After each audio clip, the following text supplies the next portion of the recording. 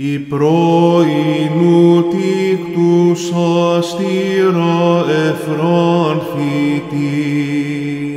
ιδούγαρ συνέλαβες, ηλίου λίχνον σαφώς, φωτίζειν τον μέλλοντα, πάσαν την αυλεψίαν όσουσαν, χόρευε Ζαχαρία, εκβών Παρισία.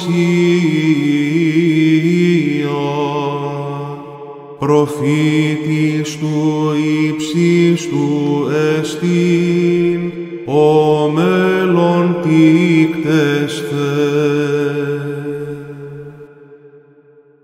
Εφραίνεται λαμπρός Ζαχαρίας ο Μέγας και είπαν ευκλαίης